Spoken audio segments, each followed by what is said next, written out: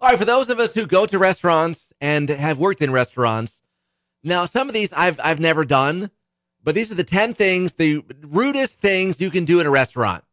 Okay. Number 10, flirt with the staff, which I'm sure happens. If you work in a restaurant, it's like, oh, yeah, he's kind of flirty. Okay. Number nine, you stay forever. You've already eaten, you've had all your drinks, you drank all the water, and you're still there talking. And they want to clear things out and they want to move on, but you're still there. Number eight, you leave the table messy.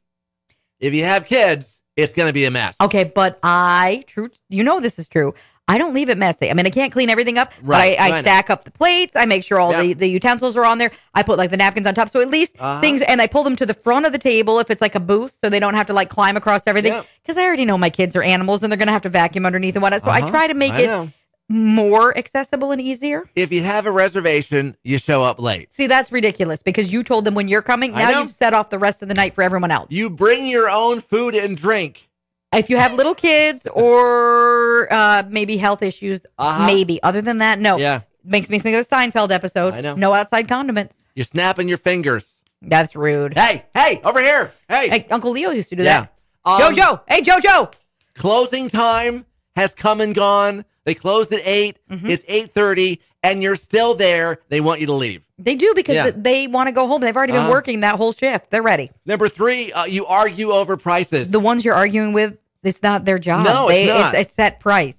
Number two, you refuse to pay for the food you you ate. Okay, I have it, a it wasn't good. I'm not paying for that. I have a massive pet peeve with this. You cleaned your whole plate. You're done. That plate is No, now not paying for virtually that. empty, and you're like, "That was a garbage meal. I'm not salty. paying." That is ridiculous. Why'd you eat the whole thing? Then a few bites in, maybe you ate one thing on the plate, but the other thing is push it back right then. What are you doing? And then the worst thing, the rudest thing you can do at a restaurant is let your kids roam around. I'm sorry. I will make sure Dave sits still No, next time. You're, you're sitting there trying I to know. eat, and there's this random kid talking to you. It's like, go away.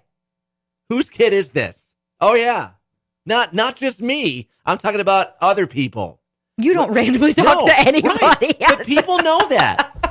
Put the kid in the high chair. Don't let the kid wander around. No. Or You're- if you're they're not bored because you're waiting for the No. food, you got to go with them. Like, all right, let's Right. walk to the bathroom. Let's do whatever. Exactly. Don't don't let them have free reign. Because no one likes that. Well, they don't. it makes them uncomfortable. Exactly. I don't know this. I don't know this kid. What if they reach over and touch my plate or my food? Yes. What if they? I, and there's yeah, yeah. I get it. Get more info and you can share your own too of the rudest things you can do at a restaurant right now. Yes FM Facebook, exit 967 Yes FM, and the Mers in the Morning page at yesfm.com.